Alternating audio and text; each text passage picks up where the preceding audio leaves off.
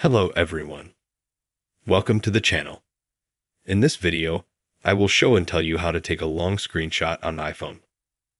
Please subscribe to the channel. Write comments. Watch the video to the end. Let's get started. To do that, let's go to Safari. And then we're going to open up our browser and we're going to type in bomo.com. And in order for us to take a long screenshot, we'll just take a screenshot.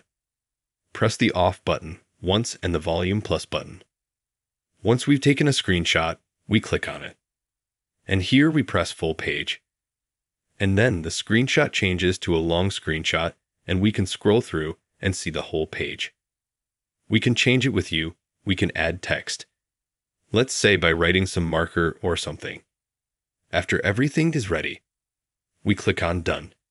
And we click Save PDF to Files. We click Save. We select the folder where we want to save it. Let's say we select this folder and click Save, and then we go out, find Files. Then we find the folder where we just saved our screenshot.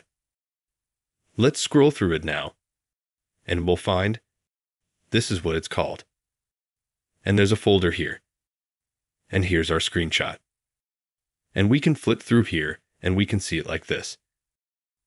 And that's how easy it is to take a long screenshot on your iPhone. If you liked this video and helped, then be sure to subscribe to the channel. Put likes. Thank you all for watching. Goodbye.